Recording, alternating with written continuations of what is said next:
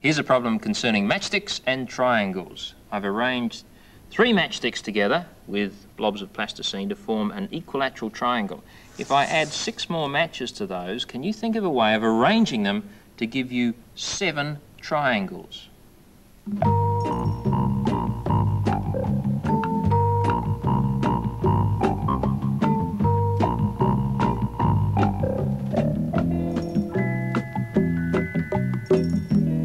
It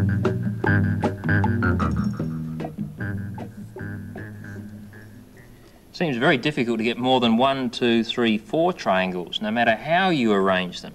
That is, if you keep them on the flat surface of the table. But I didn't say you have to keep them flat. You can do other things with them. And it helps if you have another couple of blobs of plasticine. Have a look at this. If we keep those as a base, and then if we take three of the matchsticks and push two of them into a blob of plasticine, and then arrange them so that they stick up from the table in this fashion, and then take a third matchstick and put it from the back to that top one there, we now have the original equilateral triangle on the base plus another one, two, three around the sides. We have four equilateral triangles. That figure is called a tetrahedron, four equal triangles as surfaces. Well, we still have three matches left. What can we do with those?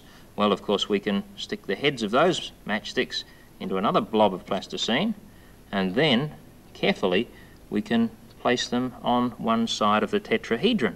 We now have the original four from the tetrahedron plus another one, two, three triangles, giving us a total of seven triangles from six matchsticks. Curiosity.